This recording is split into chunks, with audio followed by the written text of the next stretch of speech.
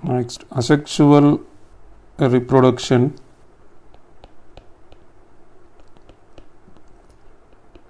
in higher plants. Asexual reproduction in higher plants. In plants, vegetative reproduction is also a type of asexual reproduction because it is uniparental in nature and does not involve formation of sex cells.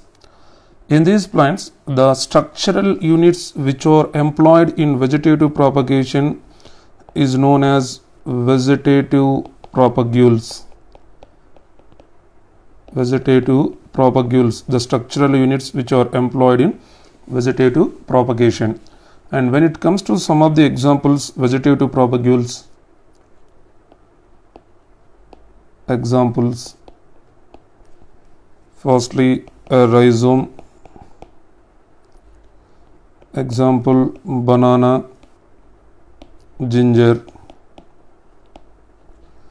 Next stem tuber. Stem tuber potato. Corm colocasia corm colocasia bulbs onion bulbils dioscorea bulbils dioscorea there is a specialty of this plant actually discovered by a scientist dioscorides in the honor of dioscorides this plant was given name as dioscorea and next runners oxalis suckers chrysanthemum suckers chrysanthemum offsets eichhornia offsets eichhornia stem cutting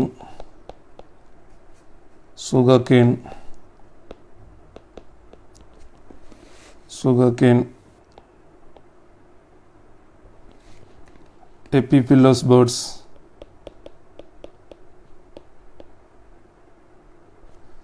Epiphyllous buds. Bryophyllum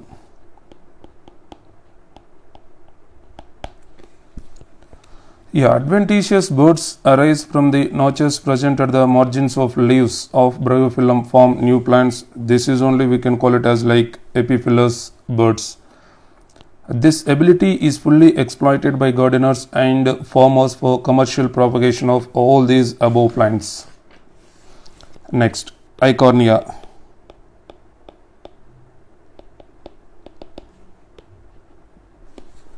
This plant was introduced in India because of its beautiful flowers and shape of leaves. This plant can propagate vegetatively at a phenomenal rate and spread all over the water body in a short period of time.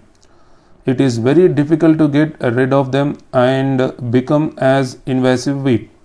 It drains oxygen from the water which leads to death of fishes. It is usually also called as terror of Bengal.